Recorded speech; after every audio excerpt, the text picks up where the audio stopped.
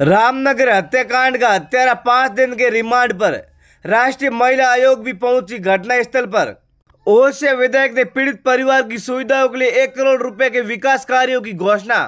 जोधपुर ज़िले के ओसिया थाना क्षेत्र की ग्राम पंचायत रामनगर की गंगानिया की ढाणी में बुधवार अल सुबह चार जनों की निर्मल हत्या के आरोप में गिरफ़्तार मुस्लिम को पुलिस ने शुक्रवार को न्यायालय में पेश कर पाँच दिन की पुलिस रिमांड पर लिया है पुलिस उपाधीक्षक मदन लाल रोयल ने बताया कि पूनाराम भावरी देवी, दापू देवी तथा नैनी परी, मनीषा की कुलाड़ी से काटकर हत्या करने तथा चार शवों को रसोई के झोंपड़े में डालकर एक दूसरे के ऊपर रखकर आग लगाने के आरोप में गिरफ़्तार मुख्य आरोपी पप्पूराम पुत्र भैराराम को शुक्रवार को न्यायालय में पेश किया गया।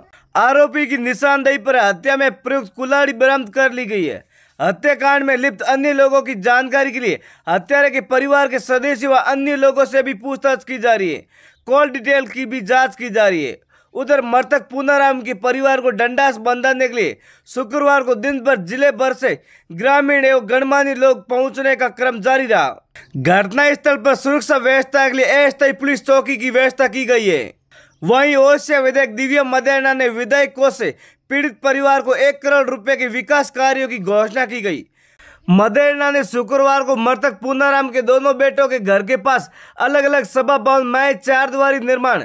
दोनों घरों के पास जीएलआर माए पशुधन खेली व पाइपलाइन के अलावा कलेक्ट्रेट को अपना खेत, अपना काम योजना में कैटल सेड टाका निर्माण, मेड़बंदी की स्वीकृति के लिए पत्र लिखा। घर के पास तीन अलग अलग सार्वजनिक नलकूप की स्वीकृति के लिए जलदाय मंत्री को भी पत्र लिखा। राष्ट्रीय महिला आयोग की सदस्य डेलिना शुक्रवार को घटनास्थल पर पहुँची। मृतक के पुत्र रेवतराम व हरीश के अलावा अन्य ग्रामीणों से भी बातचीत की।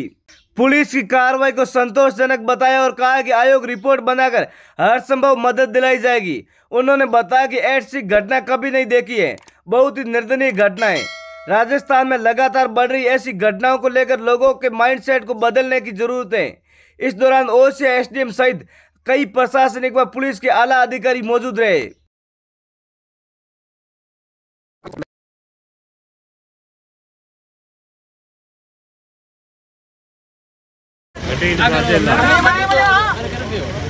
हाँ हाँ हाँ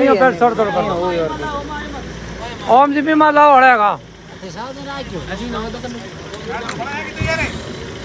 हाँ यहाँ हाँ यहाँ।